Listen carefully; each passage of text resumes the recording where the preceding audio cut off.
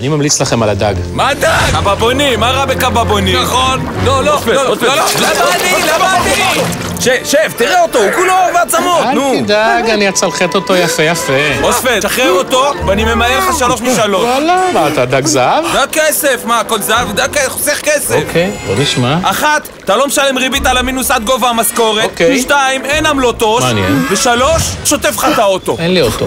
אוקיי, אוקיי, אז גם שלושה אחוזים ריבית על הפלוס. איך זה? אין יותר מזה, נו מה? שחרר אותי.